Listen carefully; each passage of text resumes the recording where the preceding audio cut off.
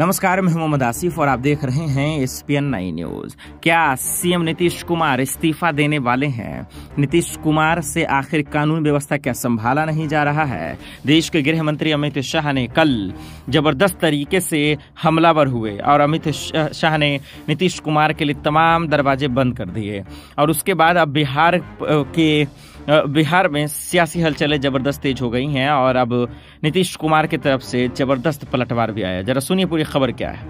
बिहार में गृह मंत्री अमित शाह के नवादा में दिए गए भाषण पर जनता दल यूनाइटेड के नेता ललन सिंह ने प्रतिक्रिया दी है। गृह मंत्री के भाषण पर उन्होंने ट्वीट कर बीजेपी पर गंभीर आरोप लगाए हैं।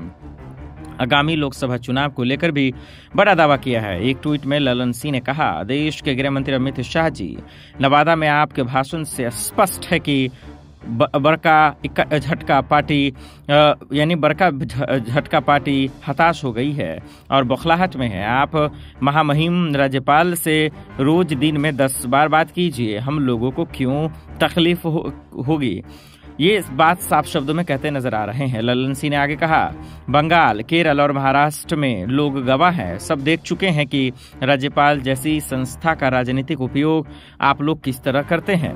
आप चाहें तो 2024 लोकसभा चुनाव तक अपना आवास राजभवन में ही रख लीजिए। परिणाम आपको 2015 वाला ही मिलेगा। 2024 में भाजपा मुक्त भारत होगा। बिहार में बड़का झट झटका पार्टी को शून्य ही मिलेगा, ये उन्होंने ट्वीट कर बताया। आपको बताते चलें कि दरअसल एक अन्य ट्वीट में उन्होंने कहा, जुमलों और झूठों वादों के कारण भाजपा ने अपनी विश्वसनीयता खो दी है।